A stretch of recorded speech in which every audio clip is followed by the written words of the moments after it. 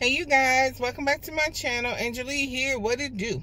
And today you guys, it is another bariatric surgery update. Right now I am outside of the health complex, I guess. Today I have a cardiology appointment. My appointment originally was for two weeks from now, but I got an email saying that um, they can move it up early. Did I want to accept it? And I was a little hesitant, only because I did accept it, but I was only hesitant because of the time. I am extremely early for this appointment, which is uh, great for me.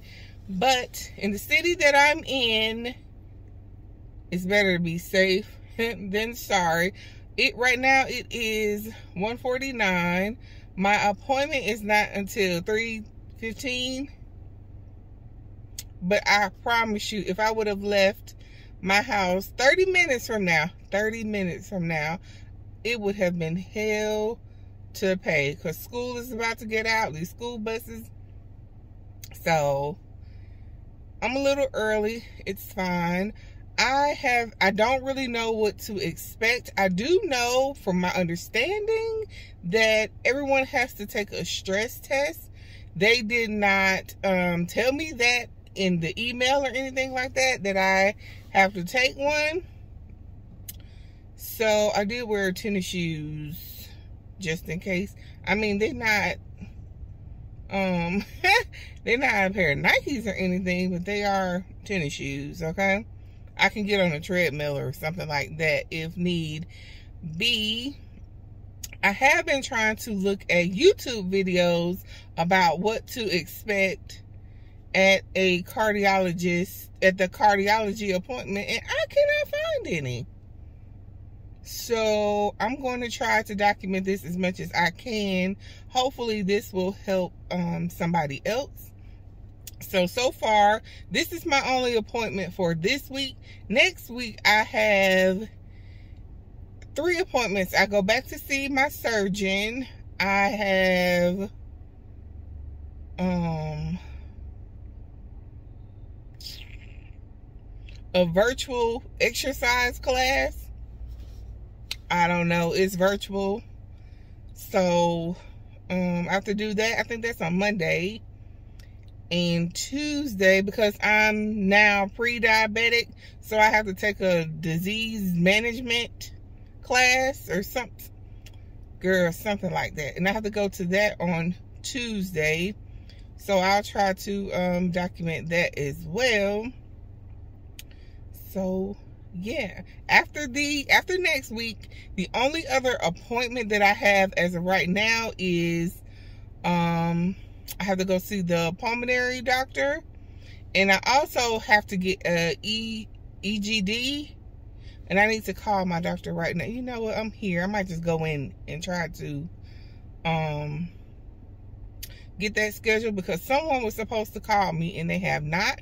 But since I'm here, I might as well go in and show my face. And hopefully if they can get me in this week because I'm free this week, that will be great. So other than that, you guys, I have my clearances for everything else. So, so far with me, the clearances, I had to get a letter from my primary care doctor. That was easy breezy. I got that. Um, my psych, I did my psych evaluation last week. That was easy breezy. Um, who else did I have? Um, I had to do this other thing where you have to see, um, you have to get like over overall health clearance or whatever. I did that. Oh, this lady's pregnant, pregnant. Bless her heart, she pregnant. Anyway, um, I did all my blood work. I did that. Um, yeah. So it's just I have to do the the pulmonary doctor, the disease management lady, the cardiologist today. And I go back and see my surgeon next Thursday. And we will see what goes from there. So, I'm sorry, y'all dropped my phone. The sun, ugh, I can't even see myself. But anyway, um, when I get ready to go into my the cardiology appointment, I will pick you guys back up. All right. See y'all in a moment. All right, you guys. So I'm inside. I'm all checked in. I'm still a little early. It's 3 o'clock. So I'm just waiting on them to call me back. All right. So y'all, we in the room. We waiting on the doctor. It took them a long damn time to come. It's after 4 o'clock. 4 o'clock, y'all. And I've been here forever. So, waiting on the doctor. I'll keep y'all updated. Y'all, I'm just finished with my appointment. I am just, I'm beside myself. I'm beside myself. I just feel like I just got a big F you, okay? Ugh, I talked to y'all in the car. Y'all, so because of my family history, um, of course I did not get cleared today. I did not have to do the stress test or anything today but I have to come back and do it. Hold on, y'all. Let me get in the car.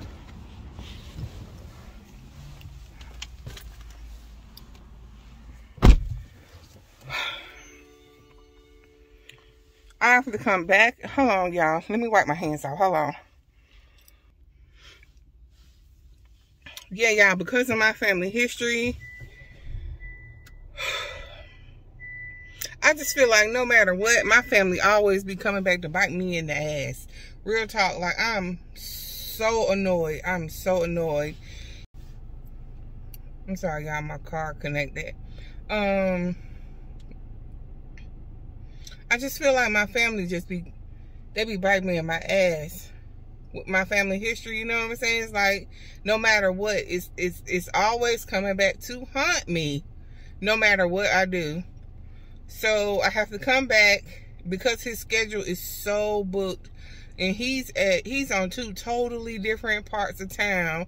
I don't live anywhere near neither one of them. Like this is already far as hell from where I live. It's like an hour with traffic. Hell, it might be two hours with his schedule. Um, he, you know, he wanted me to schedule the EKG. He wanted me to schedule the stress test and everything. I'm trying to get it on the same day so I don't have to keep fighting this traffic multiple times. And his uh, his schedule, everything is in the evenings, which does not work for me or my life because y'all know I have a kid. So, and I'm a one-man band through the week. So, his earliest time for me to do a stress test is like the end of October, the end of September. But he wants me to come back and see him within six to seven weeks. But his schedule is booked solid all the way through December. How, Sway? How? But you have it in there. Please make sure no matter what you come back to see me. How? So they was able to fit me in somewhere um to come back and see him, but that's not until October. So this whole cardiology shit is the one thing that's holding me up.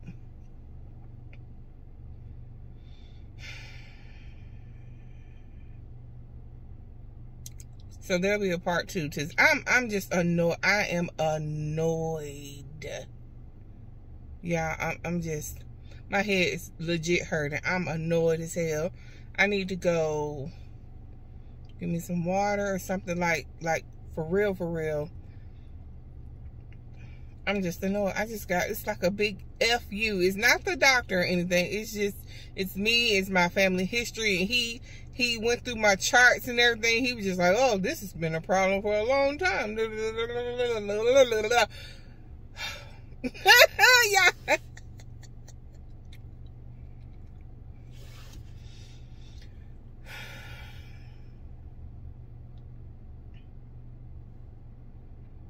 There's a Starbucks across the street. I'm just gonna go get me a lemonade. Woosah. Fight this 530 traffic. Oh my God. Go pick up my daughter. And just be. But I'm still to show you guys this. You guys wanted to see this. So there'll be a part two and part three of the cardiology because I have to do the stress test and then a couple of weeks after that I come back and see him. I'm going to try to keep calling and see if there's like a cancellation in his schedule that I can move up on the list some because uh, I'm annoyed. I'm annoyed. I'm annoyed like I'm so annoyed like Hey y'all, so look, it's the next day. And now that I have had a chance to woosah, let me guys tell you what happened actually in the um, doctor's appointment yesterday. So when he came in, he looked at, you know, my chart records, all that other stuff. He asked me questions about my um, family history and I told the truth. Had I lied, you guys, he would have cleared me on the spot. But you know, this is my life. You know what I'm saying? And it's not nothing to play with. You know what I'm saying? So I told him my family history that is very, very deep and strong and everything. So strictly because of my family history, he was like, no, I'm not clearing you. He was like, you have to do a stress test. You have to do a EKG. You have to do a echo. Um, he's really running me through the ringer. Not so much because of me, because he examined me and, you know, from the outside, I guess. I'm fine. I'm perfectly fine. But it's only because of my family history that he's running me through the ringer. Now, every time I go anywhere, this is always a hang up for me. My family history is a hang up for me in anything that I that happens to me medically. You know what I'm saying? And it's just like I get so sick and tired of that every time I go to the doctor. Every time. So it's frustrating. That's why I was just like, I just feel like it's a big F you. And I don't have a good relationship with that side of the, my family anyway. Like, they're really non-existent to me. But it's just like, I just feel like they just keep coming to bite me in my ass. So that's why I felt that way yesterday. It's nothing against the doctor. The man was doing his job and I appreciate him for doing that. It's just that he's an extremely busy person and his his offices are not close to me like I said and because he's so busy and his schedule is so hectic I can't get things done quick. It's like when I'm when I'm trying to do something, I'm gonna go ahead and do it, knock it out, get it over with. But I realize this is not on my time. This is on the man's time and the good Lord's time. You know what I'm saying? So his schedule permits me, doesn't permit for me to see him for another two months almost. So I thought that I could have this surgery done within the next two months because of his schedule, unless things open up like it did this time. Because like I said, I wasn't supposed to go see him for another two weeks, but he had an opening. So if that should happen again, maybe things will move up. But that's why I felt like that. Like I said, all my other doctors and everything, I'm I'm good. It's it's no it's no you know I haven't had any issues. Um, like I told him, I go for a hike. I show him my phone, you know, proof that, you know, because it tracks everything that I do. So he told me that, you know, he was proud of me and that that was a good thing. Keep keep going. So I'm about to go do this hike again. Right now I go four to five days a week on this on this hike or whatever. So, you know, that's good that I have already been doing that. So other than that, like I said, I go back. When I go back, I have to do the stress test, the echo, and the EKG. And then I go back after that to actually see him to see what he says. And hopefully he clears me after all of that. All right, y'all? So that's what happened this time. But anyway, you guys, that concludes this video. Let me call my husband and tell him. I'm telling y'all first, y'all, because it's like, let me just, let me just vent and get it out. So then when I talk to my husband, I'm to be all cool and calm. Like, oh yeah, he said this and he said that. Da, da, da. But all right, y'all, that concludes this video. I thank you guys so very much for watching. Stay on this journey with me, y'all. Stay on this journey with me. I love you guys, and I will see you all in my next video. Bye-bye.